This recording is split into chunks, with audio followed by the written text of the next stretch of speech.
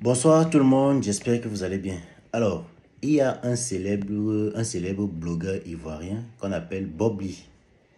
Actuellement, il serait très malade et entre la vie et la mort, d'après ce que les gens disent. Le célèbre blogueur en question, il avait un concept, enfin, il a un concept très particulier sur Internet. Un concept où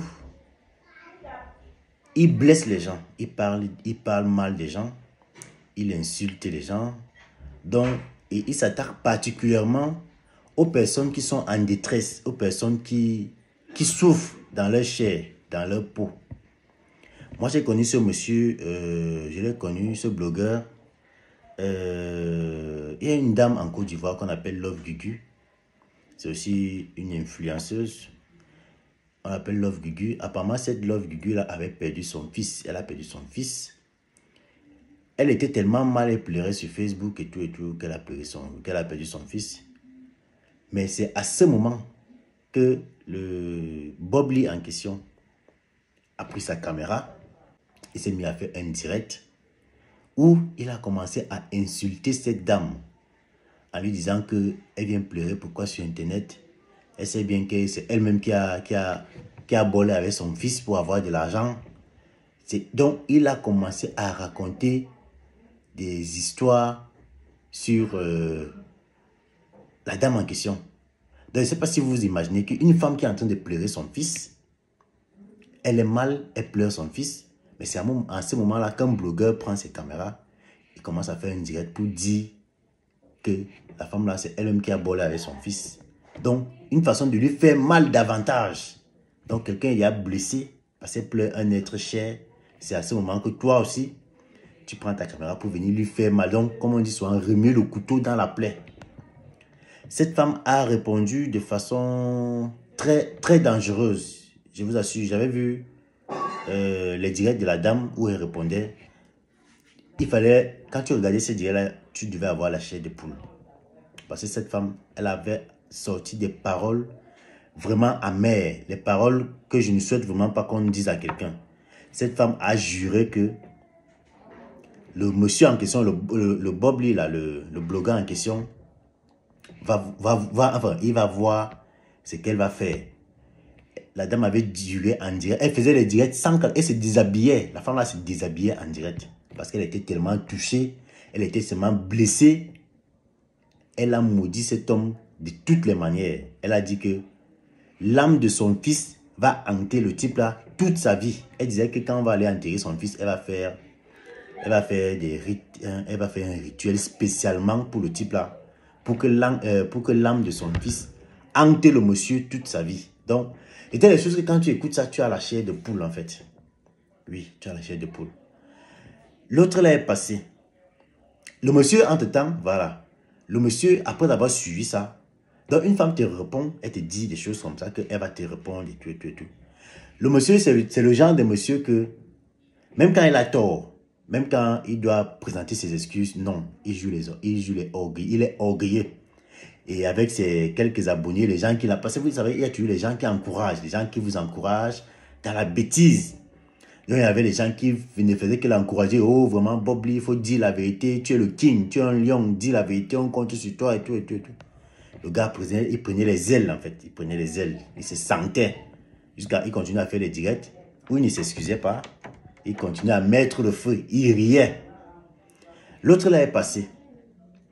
Vous avez vu dernièrement, il y a une fille, une jeune fille gabonaise, une jeune gabonaise, Dina, qu'on avait, que on avait, on avait bolé en Turquie là. On a, on a abusé d'elle. Après, on a bolé avec elle. Une jeune étudiante gabonaise qui avait envoyé les voix à sa maman pour lui dire que vraiment elle est, elle est victime de, de ceux qui n'aiment pas notre poste là et qu'elle elle suppliait sa mère de la faire changer d'école, de la faire changer de ville parce que la ville où elle était, il y a trop de personnes qui n'aiment pas la pousse là-bas. Donc la petite là est finalement, vous avez vu ici, la petite là est finalement, on a finalement bolle avec elle après avoir abusé d'elle. Donc le même monsieur en question, il a encore pris sa caméra, il a posé devant lui, il a commencé à faire une direct où il a commencé à dire des énormités sur la mort de cet enfant. Mais apparemment, euh, ça a tellement touché les Gabonais que apparemment les Gabonais aussi sont levés, ils ont commencé à le maudire à parler parce que, je sais pas, vous comprenez quelqu'un, son concept sur Internet, c'est que c'est quand quelqu'un est en détresse, quand quelqu'un a deuil, quand quelqu'un est mal, quand quelqu'un a perdu un être cher, c'est là où il prend sa caméra, il vient t'insulter pour te faire mal davantage. Vous imaginez un peu ce que ça peut faire.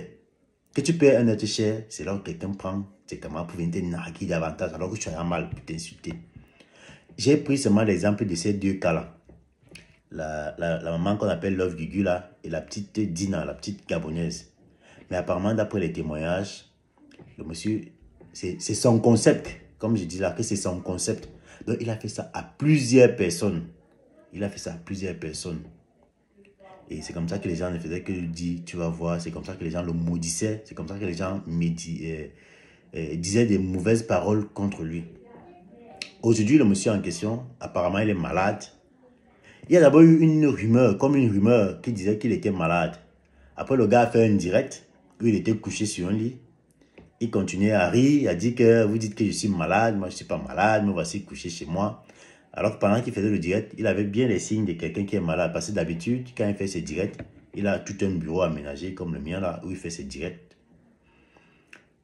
Et le jour là, il faisait le direct, étant allongé.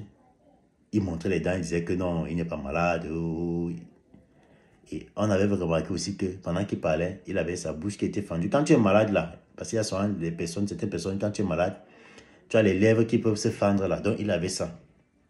En plus, le gars a passé déjà beaucoup de temps sans poster. Il fait 3 jours, 4 jours, 5 jours sans poster. Les gens ont commencé à se poser des questions que, mais, comme le gars s'il ne poste plus, peut-être il est, il n'est plus. Après, le gars fait encore une, sortie pour dire qu'il est là et tout, et tout, et tout, et tout. Mais en réalité, à ce qui paraît, le gars est vraiment dans un état très critique. Mais comme d'habitude, il y a toujours les petits malins, les gens qui sont doués pour encourager les gens dans la bêtise. Les petits malins sont là à que non, il ne peut rien lui arriver. C'est un lion, il va nous revenir très bientôt et tout, et tout, et tout. Lève-toi parce qu'un lion. Au lieu qu'on lui dise que, gars, tu as causé beaucoup de tort aux gens. Prends ta caméra, tu poses devant toi, tu présentes des excuses à tous ces gens que tu as avancés. On ne lui dit pas ça. On lui dit, gars, rétablis-toi vite, tu reviens nous sortir les dossiers. Oui, oui, c'est comme ça. Vous voyez, les gens, ils sont nombreux comme ça. Aujourd'hui même, j'ai fait une vidéo pour parler de l'affaire du petit que Muriel Blanche a, enfermé. J'ai dit que les jeunes, vous n'avez pas besoin, pour briller sur Internet, pour avoir de la visibilité, pour gagner de l'argent sur Internet, vous devez créer des concepts qui attirent les gens. Ça peut être dans l'humour, ça doit être dans l'art en fait. Hmm? Ça peut être dans l'art. Vous allez vous attirer les abonnés sans toutefois forcer en fait ça ne vaut pas la peine, c'est pas la peine de créer des concepts où vous offensez les gens, où vous blessez les gens, vous insultez les gens. Non. Ces genres de concepts ne vont que, ne que vous attirer des ennuis, des problèmes, la malédiction. Parce que vous, vous blaguez. On a dit, il y a un philosophe qui a parlé là dernièrement, il disait que euh, euh, euh, les médias, c'est l'image de quelqu'un qui est en avant. Ah, seulement avec ton image, les gens peuvent faire beaucoup de choses, seulement avec ton image, seulement avec ta photo. Parce que quand on fait les vidéos sur Facebook, là, vous croyez peut-être que vous êtes caché. Donc, évitez de faire des concepts, de créer des concepts pour blesser, pour insulter les gens.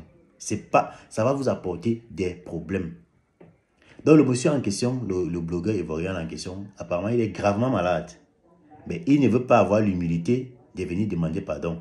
Il paraît que les gens qui l'ont vu ont dit qu'il y a un truc qui se balade dans son, dans sa, dans sa gorge là. Donc, ça sort de, l'intérieur du thorax là, ça monte, ça monte, ça redescend, ça monte, ça redescend. Donc, physiquement, on peut voir ça comme, vous êtes en train de voir ma, ma gorge là. Donc, physiquement, on peut voir comment quelque chose monte là, une boule, ça gonfle là.